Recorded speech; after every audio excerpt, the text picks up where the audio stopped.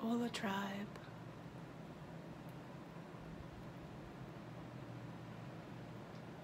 So, today I am coming to you from a very uncomfortable place. Um, this is a this is a hard I don't want to even say that, but it is. It's true for all of us. This is a, a hard video to make. With all that we have been going through, um, 2020. this year will go down in history, right? This this year. Um, with all that we are going through, there has been a subject um, weaving, we'll say weaving through, that is very uncomfortable and makes most of us very angry. And um, so, you know, we could talk about the uh, COVID, right? We could talk about that. We could talk about the uh, Black Lives Matter. We could talk about um, masks. We could talk about our liberties. We could talk about all of that uh, because all of it is at hand. However, I'm coming to you about the pedophilia. Um, I'm not even I'm not even ready to talk about the blood sacrificing that has gone on for millennia, you know, um, but that is coming to the surface. I believe, and is what I've seen and heard and felt, is that all of the other things going on um, I refer to it as the pandemic.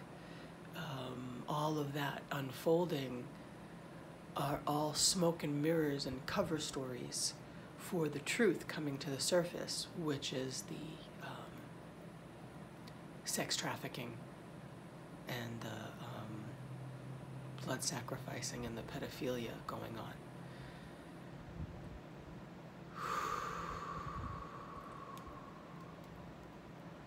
All things unfolded at a very specific time, right? Smoke and mirrors. While those in power removed themselves from crucial positionings of um, conscious knowing, right? Knowing that they uh, were would be found out being part of the um, being part of everything. Um, at the same time, the virus got released. Now that virus has been around for a while, and I believe they were sitting on it in order to release it. Um, and then created a race war, which has just been at a simmering, you know what I mean? Um, poking at people's wounds in order to uh, again, smoke and mirrors to block people from everything else going on. With that being said, with that being said,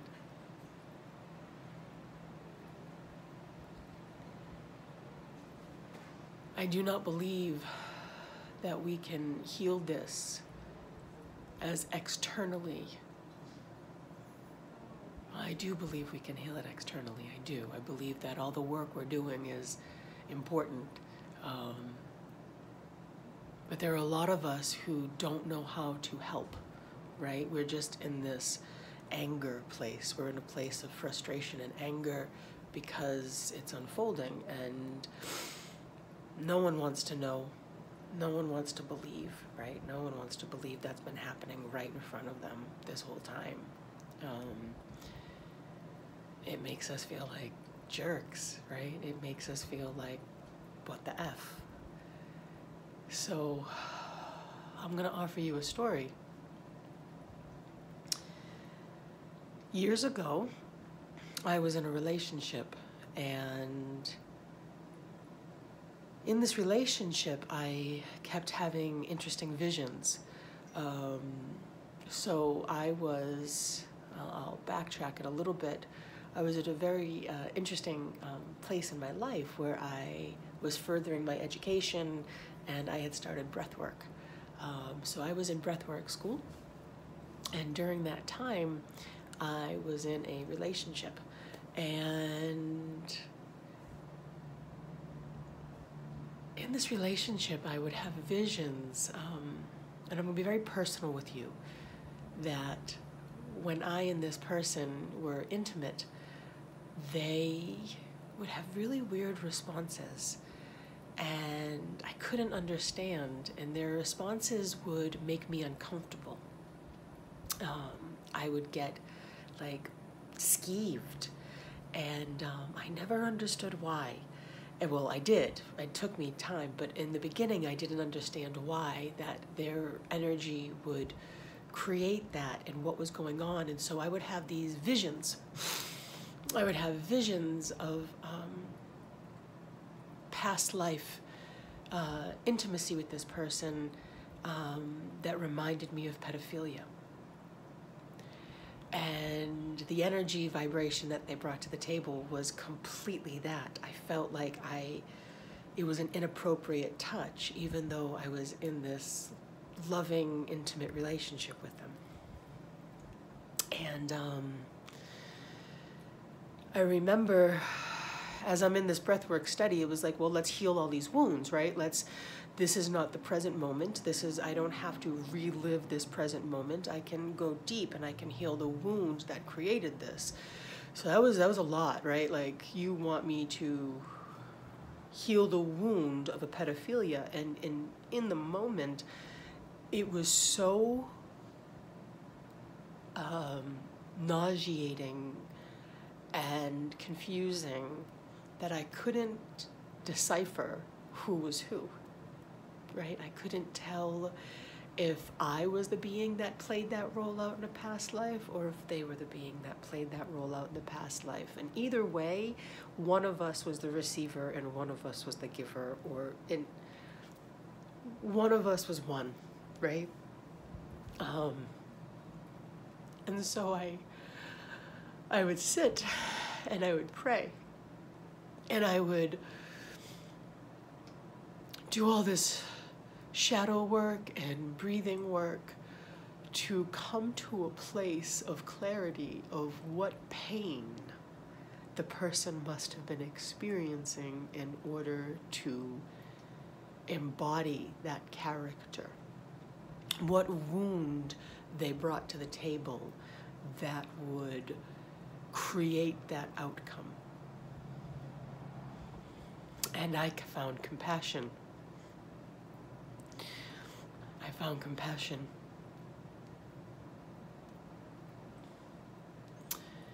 And I did my best to meet this person with that level of compassion. Um, they themselves didn't do the work. They didn't allow that shadow to come to the surface. And I can't blame them. That's not a shadow any any person would ever want to have to know they experienced, right? That they themselves were that person. Because for me, when I came out of it, it was they um, who did that to me.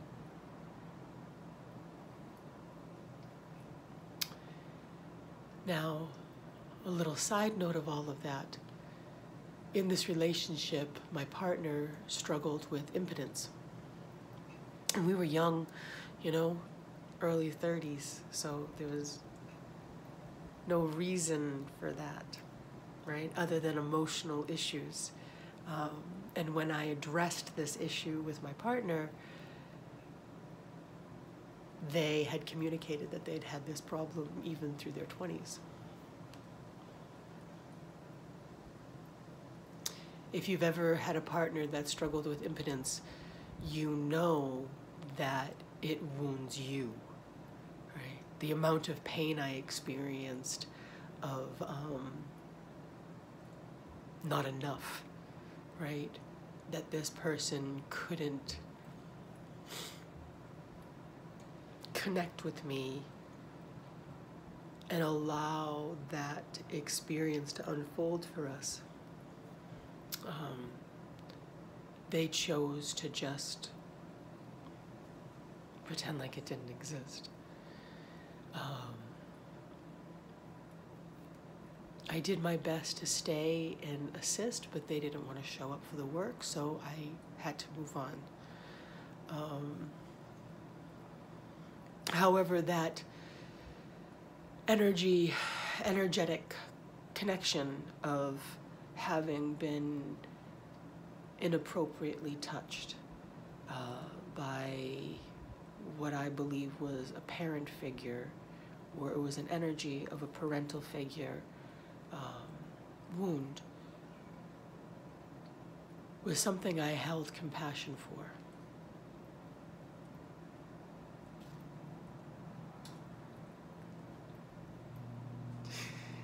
And so I bring this to the table because um,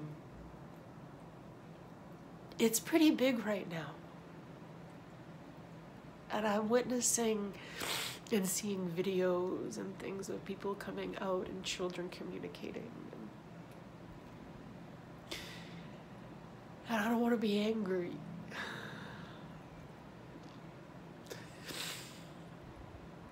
And it's not about not wanting to be angry, but it's that Anger isn't going to heal it.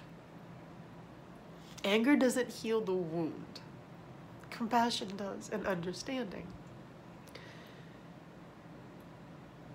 So, this is my my asking of you. Can you sit in it?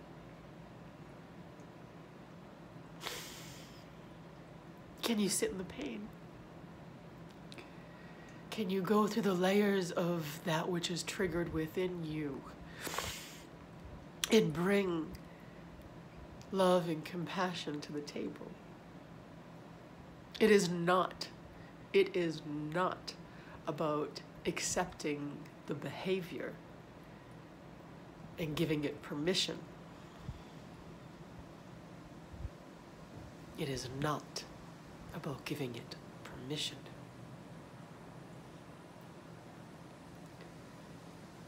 It is about loving them enough to know that they are broken and that, that they must heal the wound within them. Can we love them enough to know that they too were wounded somewhere along the lines that created that illness in separation from the Creator. Right?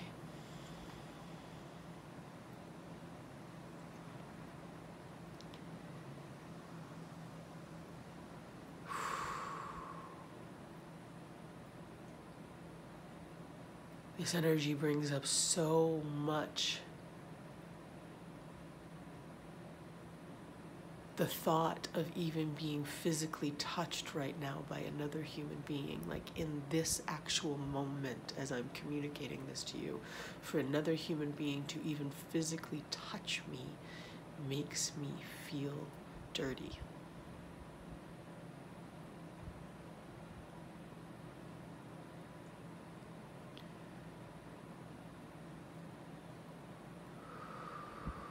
It makes me feel unreceptive.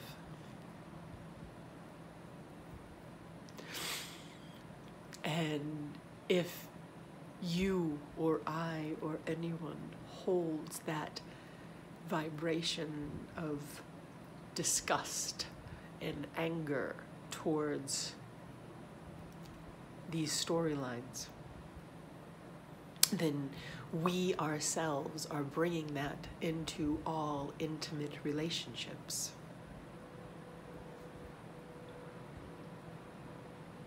That's a really tough one to accept.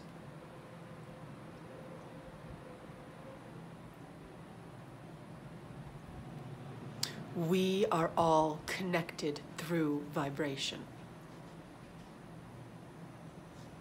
It's the simplest of languages, it's God's language. We are connected through vibration. And so if I am strumming a chord of disgust around that, you can't put that in a room and hide it away when it comes time to other intimate moments. It's there. It's there. And so we are the problem. Okay? So instead of pointing our fingers at every other being around us, thinking that they are disgusting, you're holding that disgust.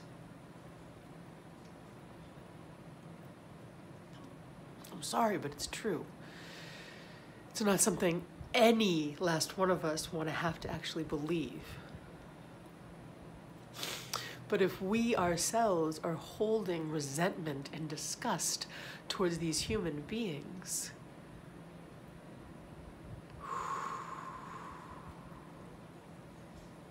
then we are, in fact, bringing it to the table in all relationships. We are, in fact, bringing that energy into our intimate partnerships.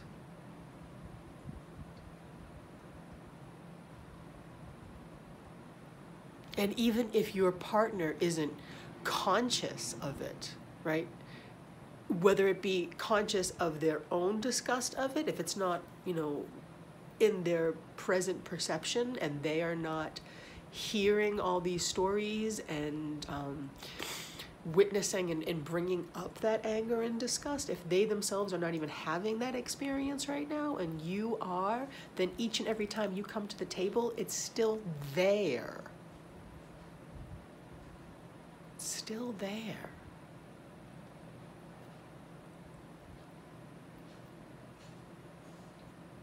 So to deny that we are not part of the problem, that it's them is the problem we must go in and we must heal the wound within us that it doesn't matter.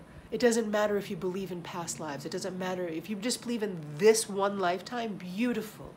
If that energy comes into your system and you're holding disgust and resentment and hatred towards these people, then you yourself are part of the issue and you're emanating that energy out there and is creating more shame within that human being. And if you're creating more shame within that human being, they tend to play out the cycles.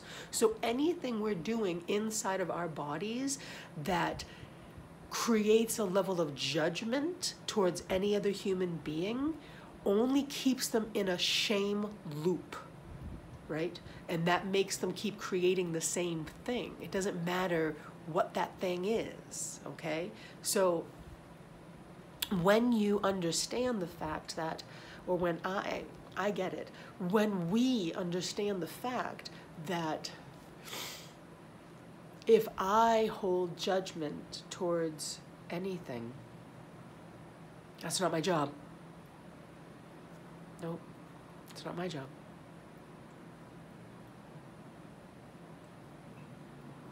God right? I don't even want to say up there because God is right here, right? God is inside of us. So the God energy within is the judge, right?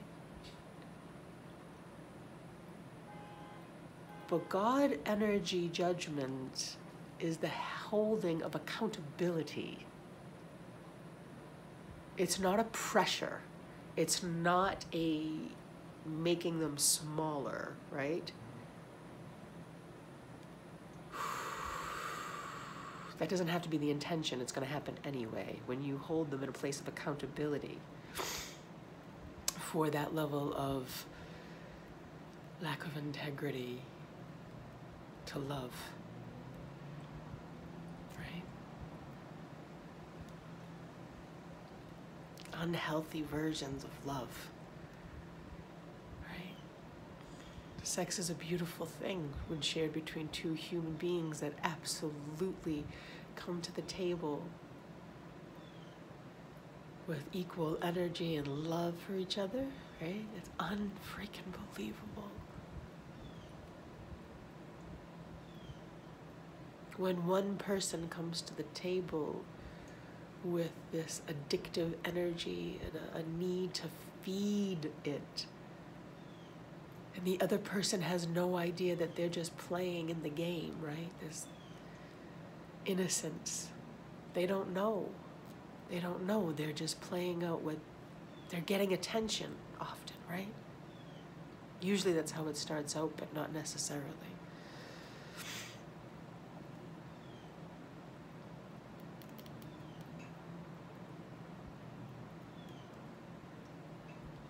Can we? Can you? Can I? Can we sit in that energy?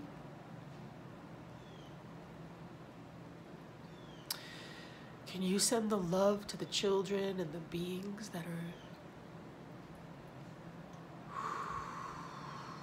being used like toys, like um,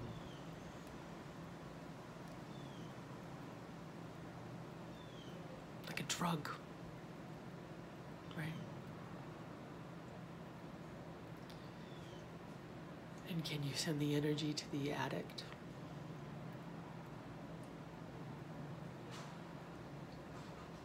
Right, because it's an addiction. That addiction often is based off of their own level of not feeling enough, their own levels of um, starving for intimacy. Oftentimes, they themselves were put through that same thing. Right? It's also a place of not feeling powerful. So they find what little doses of power they can find, right? It's like a big energy boost really fast, and then they drop later on when they go into their places of shame for their behavior, and then they do it again because they don't know how to stop it.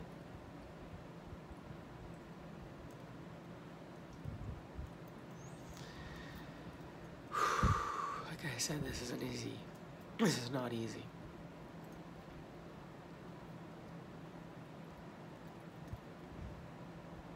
But I will do the work.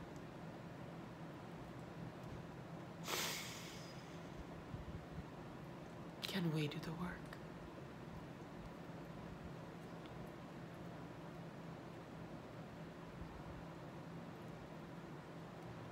Thank you.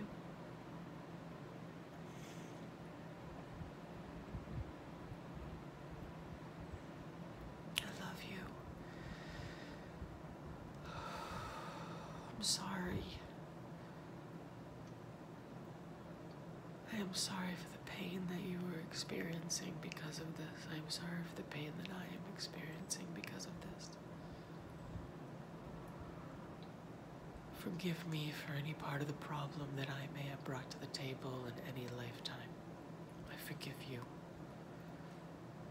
And if I come up against any blockages that are not of forgiveness, I will work to forgive all beings who participated in this because none of us are getting out of this unscathed. None of us. I love you.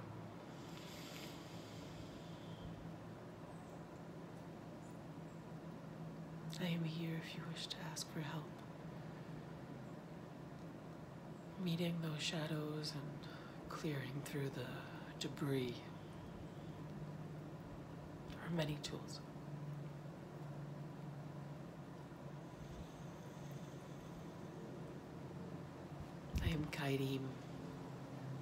Thank you. Thank you for listening today, and thank you for showing up.